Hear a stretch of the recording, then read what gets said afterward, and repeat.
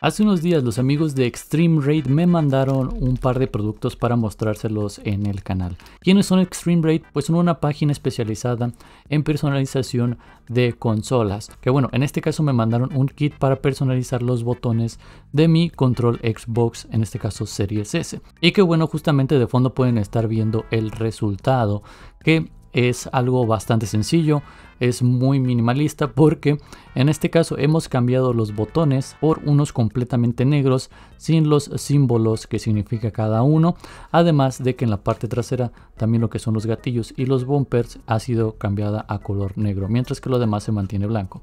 Es un diseño que tal vez a algunos les podrá gustar, a algunos no les podrá gustar para nada, pero a mí me pareció un diseño bastante sencillo, bastante minimalista, simplemente poniendo el control en blanco y negro, sin tanto simbolismo ni nada por el estilo. Que bueno, antes de seguir, si se preguntan la calidad de los botones, la verdad es que es muy buena, se siente incluso como los botones originales del control. También los gatillos se sienten muy bien, los bumpers igualmente. La verdad que ofrecen un producto de muy buena calidad. Sin embargo, hacer este cambio de botones no es nada sencillo. La verdad es que es bastante, bastante complejo y lleva bastante, bastante tiempo.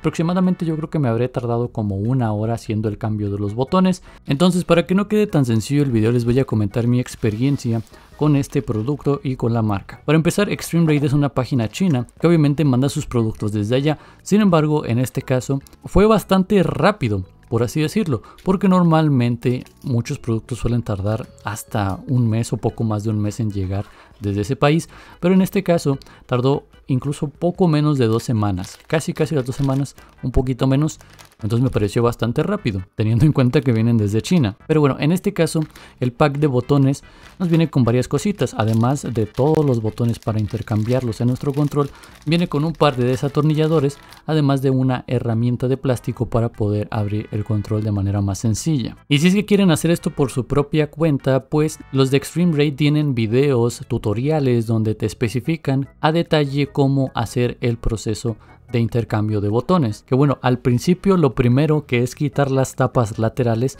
pues me costó bastante. Fue probablemente uno de los procesos más tardados porque están muy muy bien engrapadas estas tapas y para poder quitarlas necesitas meter una herramienta de plástico por la parte de abajo de los gatillos y jalar con fuerza. Sin embargo, pues obviamente al jalar con fuerza vas con un poco de temor de que pueda romper algo. Pero es cuestión de agarrarle el truco y de jalar con fuerza empujando hacia adentro. De esa forma puedes sacar más fácil las tapas. Pero al principio me costó mucho mucho trabajo. Creo que incluso fue de lo que más me costó trabajo de poder desarmar el control. Simplemente lo, lo, primero. Ya después de ahí fue bastante sencillo el proceso, pero sí un poco tedioso por el acomodo de los tornillos. Entonces después de estar batallando un rato quitando esos tornillos, ya puedes acceder a los botones, los cuales salen de manera bastante fácil y puedes ahora ya intercambiarlos por los que vienen en el pack, que en este caso como se los había mencionado eran eh, completamente negros. Desafortunadamente la forma en la que puse la cámara y en la que estaba haciendo todo este proceso pues no se alcanza a ver muy bien a detalle cómo es que hacía el intercambio de botones, pero una vez desarmado todo el control la verdad cambiar los botones es bastante sencillo. Sin embargo aún faltaban un par de cosillas y era por ejemplo los gatillos en este caso también hay que desatornillarlos, teniendo cuidado porque pueden ser bastante frágiles si utilizamos mucha fuerza, pero simplemente con un poco de truco, con un poco de maña salen de manera sencilla. Después de esto pues habría que intercambiar el bumper, esto también es muy muy sencillo, realmente no tenemos que desatornillar nada, simplemente es jalar quitar algunas pestañas y jalar. Y para poner pues es simplemente presionar un poco y listo. Para luego ya por último pasar a cambiar el D-pad que también viene incluido un D-pad que podemos cambiar. Este realmente ya viene en color negro pero pues aprovechando que venía uno nuevo lo, lo, intercambié. Me gustaría haberles podido mostrar el proceso a más detalle, pero como les a repetir me tardé más de una hora, entonces sería más de una hora de video mostrándoles todo el proceso. Así que es por eso que se los muestro de forma resumida. Entonces volver a armar el control fue bastante sencillo. Lo más complicado de todo fue desarmarlo hasta llegar a los botones, porque prácticamente tienes que desarmar casi casi todo el control. Entonces después de estar un rato batallando habría quedado pues bastante, bastante bien el control ahora con su nuevo diseño, que como les voy a repetir, puede ser un diseño que no les guste a muchos, pero a mí en lo personal me encantó. Sin embargo, después de estar probándolo noté que los gatillos se sentían como que golpeaban. Y es que, por ejemplo, si ustedes agarran su control de Xbox, al jalar los gatillos y cuando se regresan, se siente como que golpean, pero no como que directamente con el plástico, sino como que hay algo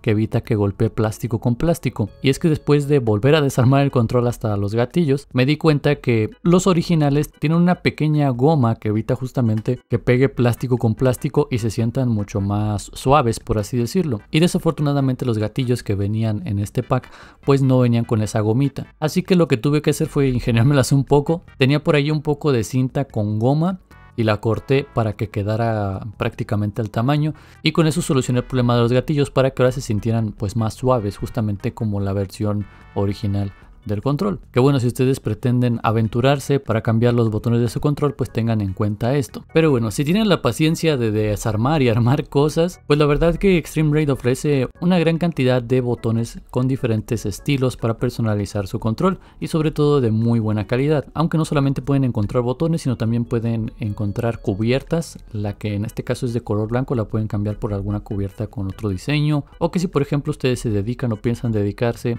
a la personalización o reparación de controles, pues también me parece que esta página puede ser muy buena para que consigan algunos suministros. Y si quieren conseguir algunos de los productos que están disponibles en la página, voy a ver si me pueden dar un código de descuento y si me lo dan, en la descripción se los voy a dejar, que con eso podrían tener un descuento del 10%. En fin, también me mandaron otro producto que probablemente si me siguen en la pestaña de comunidad ya habrán visto. Y es un pack de personalización para las series S que permite tener luz RGB, que ya se los estaré subiendo en otro video.